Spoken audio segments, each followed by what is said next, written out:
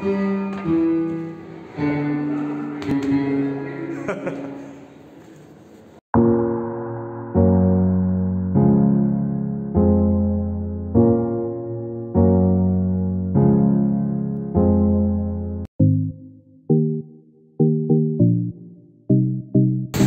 everyone my name is Nikhil welcome back to my channel Nagpur का निखिल सो अभी हम जा रहे हैं सी कमल साइंस सेंटर और ये भी सुनने में आया है कि सीधा मेट्रो पे।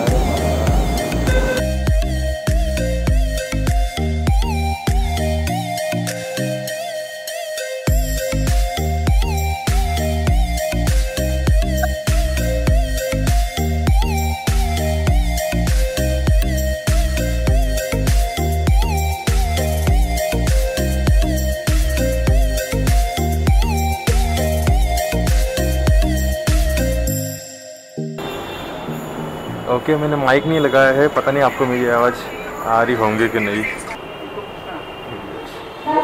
मंदिर के लिए कहाँ जाना पड़ेगा? कैसे जाना पड़ेगा? नीचे जाना पड़ेगा क्या? वो वाले ट्रेन पकड़ मेट्रो के अच्छा ऊपर वाले फ्लोर पे जाओ। इधर से जाना पड़ेगा क्या? इधर से भी जा सकते हैं स्टेयर होंगे तो वहीं से भी जा सकते हैं। एक काम करो नीचे जाओ फिर वो साइड में जाओ। हाँ, उधर से जाना पड़ेगा। हाँ।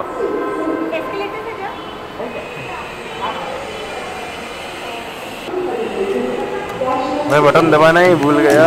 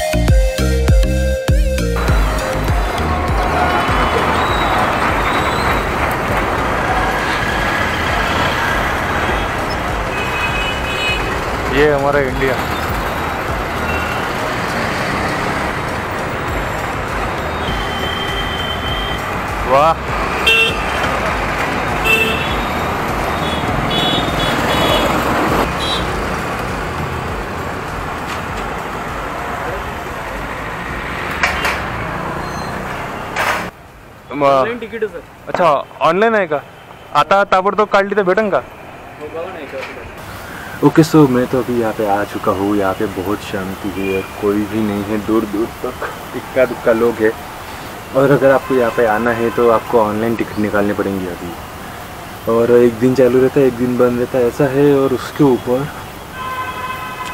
उनकी वेबसाइट भी थोड़ी बहुत अच्छे से काम नहीं करती। हंड्रेड टू बेड का पूरा पैकेज लिया है। पूरा घूमेंगे अंदर। और देखेंगे और क्या क्या कर सकते हैं तो। जितने भी नेचर लवर या फिर साइंस लवर होंगे, जिनको भी साइंस और स्पेस पसंद है, उनके लिए ये जगह जन्नत से कम नहीं है। यहाँ पर बहुत सारे प्लानिटोरियम है और बहुत सारी चीज़ें जो आपको ज़रूर देखनी चाहिए। रमन साइंस सेंटर का इनाग्रेशन हुआ था 7 मार्च 1992 को और ये जो जगह ये गांधी सागर, शुक्रवारी तालाब के बाजू में ही है। और अपना एम्प्रेस मिल है, जो वो पीछे वाली बिल्डिंग दिख रही है, आपको वही है। और ये जगह एन सी एस एम के अंडर आता है national counselling of science museum और यहाँ पर बहुत सारे इवेंट होते रहते हैं मैं यहाँ पे तीन चार बार आ के चुका, आ चुका हूँ। बहुत मज़ा आता है यहाँ पे। और यहाँ पे चार डिफरेंट तरह के गैलरीज है। यहाँ पे टेक्नोलॉजी टाइम के अकॉर्डिंग अपना जो इन्वेंशन हुआ है टेलीफोन से लेके अभी मोबाइल तक, और ऐसे बहुत सारी चीज़ें बताया गया है। अगर आप आओगे यहाँ पे तो आपको पता चल ही जाएगा। और यहाँ पे साइंस सेंटर है प्लानिटेरियम है साइंस ऑन स्पेरी है स्पेयर साइंस ऑन स्पेयर है, और थ्री शो भी है। Okay so I am having fried rice और फैंटा बहुत सालों के बाद फैंटा पी रहा हूँ वैसे। और बहुत ही सुकून है। तीन बज चुके हैं और अभी साढ़े चार और पाँच का शो है। वो भी देखेंगे। नेक्स्ट टाइम से बैग में कुछ ना कुछ खाने के लिए रखूँगा। चला है मेरे पास, लेकिन वो घर में छूट गया। वेल ये जगह 1992 में बनी गई थी। और great scientist C V Raman के नाम पे रमन साइंस ये यहाँ का नाम रखा गया। और बाकी सब जानकारी आपको डिस्क्रिप्शन में मिल जाएँगी। सर जब तक डे लाइट है तो बाहर का पहले शूट कर लेते हैं। ऐसा अलाउ तो नहीं है ये शूट करना, लेकिन अपना काम ही ही क्या करें। सो ये ये है ऑप्टिकल इल्यूजन जो भी टूट गया है। क्योंकि मेंटेनेंस करने वाला कोई नहीं है। और ये दूसरा इल्यूजन कौन सा लंबा है? वैसे सभी एक ही साइज़ के हैं लेकिन ऐसा लगता है कि एक लंबा है दूसरा लंबा नहीं है। तो इसका इल्यूजन ही है शायद।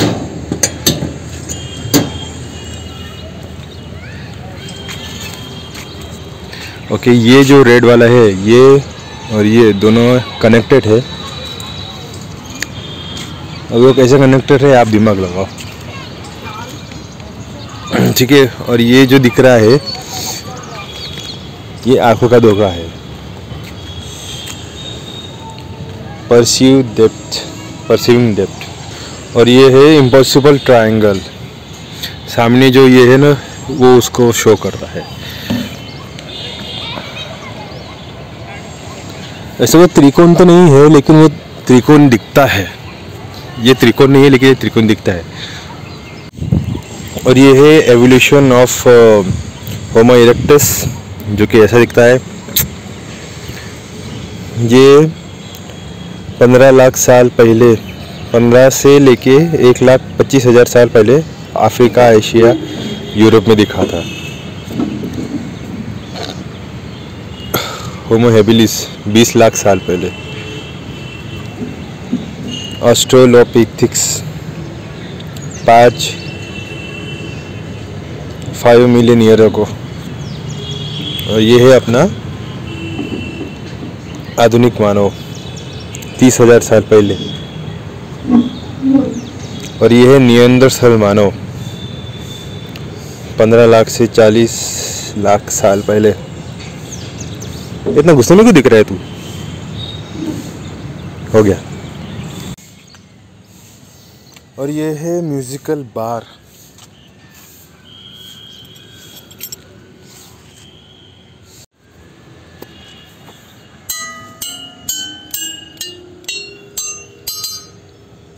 बस, इतना ही है।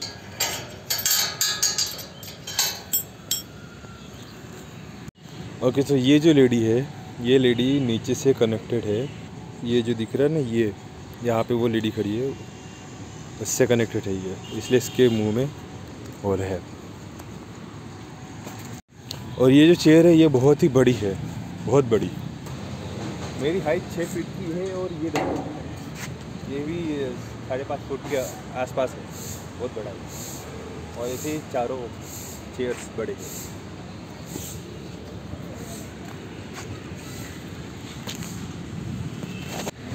सो ये है सेंटर फिगर फोर्स का एक एग्ज़ाम्पल ये जो है, ये जाएँगे ऊपर, क्योंकि इससे ही ये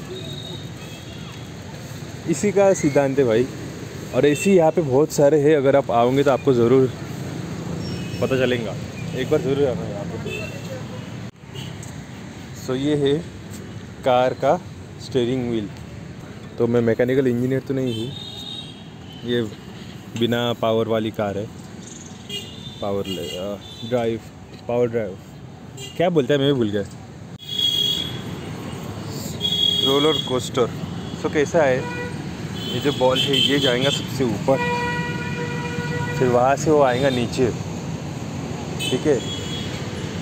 फिर जो स्पीड इसने कलेक्ट की है, उससे ही वो नीचे आएगा, पूरा और वापस भी आ जाएगा।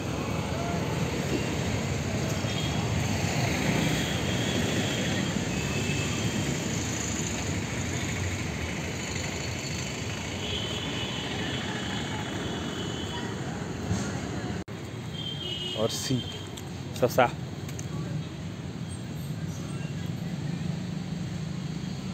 हागून ठेवलाय नुसतं. हे खेळत आहे.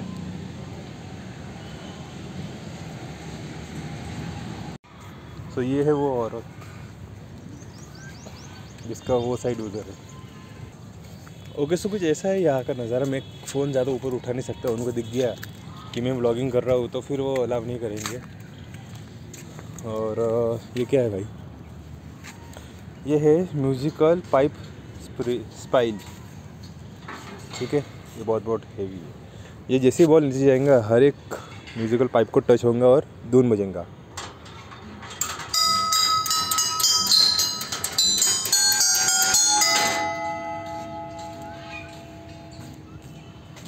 सही है। सो so, ये है H T P thirty two aircraft यहाँ पे लगाया है।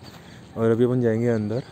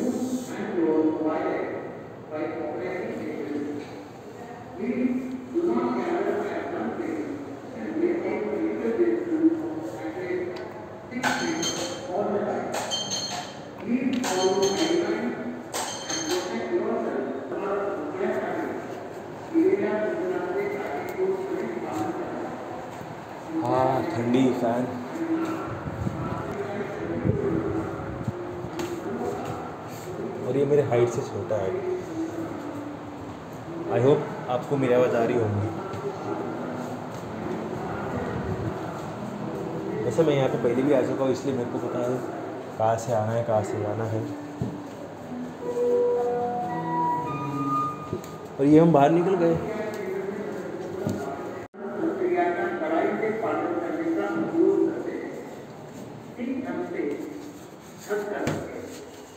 मैंने अपना पिछवाड़ा कभी नहीं देखा आई मीन बैक पीठ टक्कर पडता है रे निकिया, कसं करू काय कळत नाही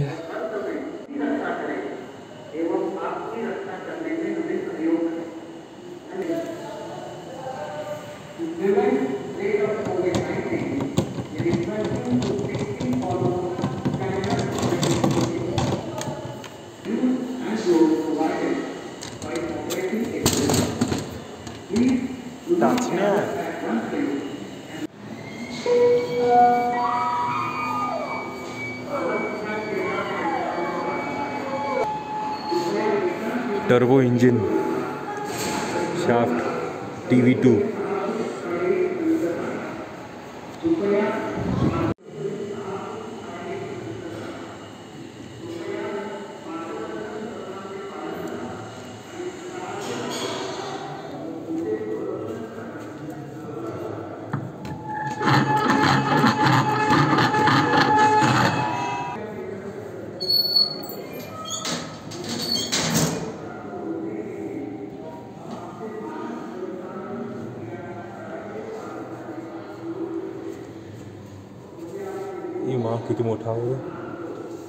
доставки.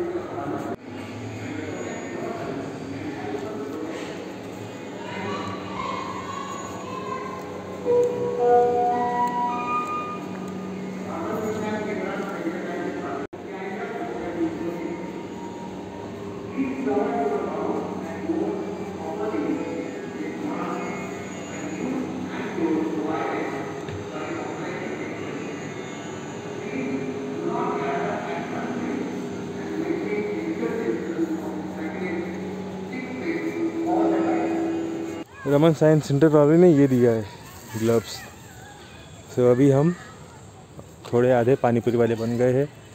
जल्द ही पूरे पानीपुरी वाले बन जाएँगे। दोनों हाथ में ग्लव्स रख अभी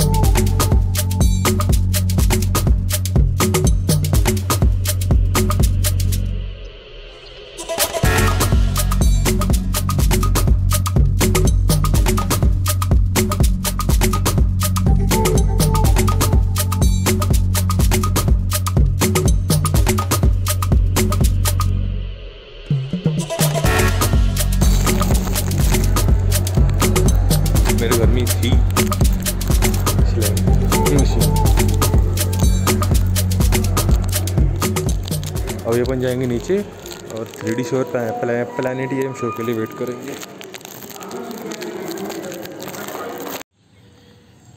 ओके, अभी फोर समथिंग हुए है, ठीक है? देख के तो पूरा हो गया ही है आई होप मैंने बराबर दिखाया होंगे और आपने बराबर देखा होगा। अभी लगे सुसु। तो सुसु करेंगे और थ्री डी शो और प्लानिटेरियम शो देखने जाएँगे, फिर घर जाएँगे। इस जगह पे आने में पूरी नाइन्टीज से फीलिंग देता है। क्योंकि बिल्डिंग और सब कुछ वही का ही बनाया गया है उस टाइम का।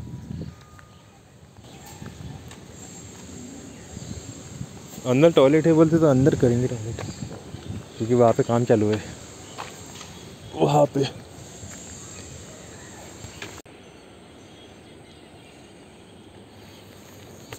जगह अच्छी बनाई है, सब कुछ अच्छा है, लेकिन बस यार मेंटेन किया करो।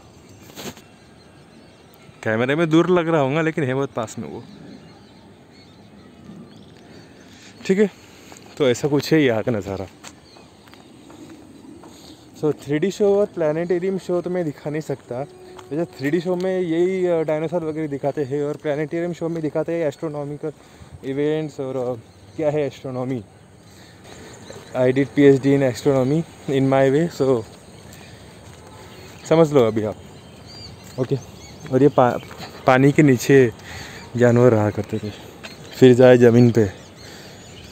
फिर ऐसे इवॉल्व करते करते हम बने इंसान।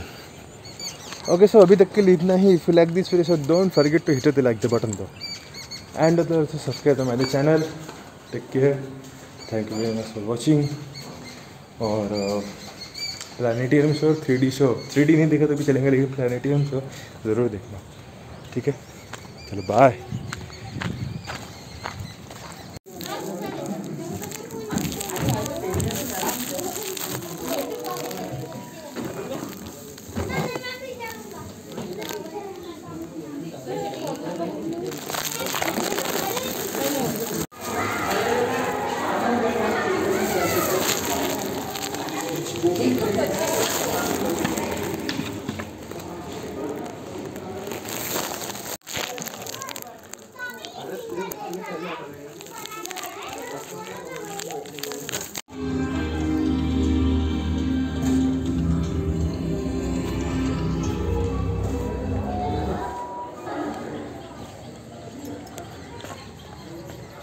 मज़ा आ गया देख के। पुरानी यादें ताज़ा हो गई। यार एस्ट्रोनॉमी के इसमें करियर है, लेकिन इंडिया में बहुत मुश्किल है और बहुत पढ़ाई करनी पड़ती है। मैं तो इतना पढ़ पढ़ नहीं सकता। टाइम और पैसा भी लगता है वैसे तो। लेकिन सेल्फ स्टडी भी एक ऑप्शन है, जिससे अपन खुद you know what I mean to say चलो बाय